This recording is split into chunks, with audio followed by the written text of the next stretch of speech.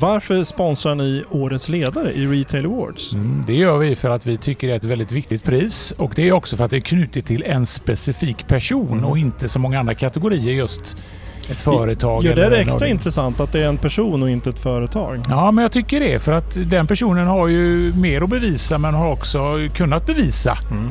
Eh, att han eller hon är, är en bra ledare. Mm.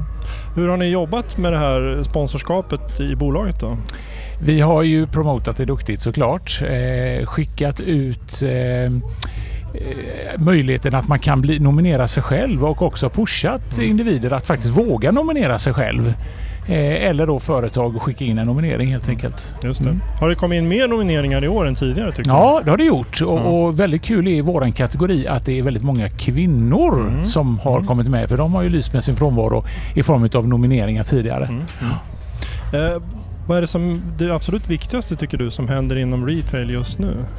Ja, det är ju flera saker men eh, det är ju framförallt det här skiftet mellan eh, digital handel och fysisk handel. Men tittar man på det jag håller på med, ledarskap, så är det just att, att det sker sådana stora förändringar på vad dagens eller morgondagens ledare, hur de ska vara och förväntas vara. Och där hänger man inte alltid med.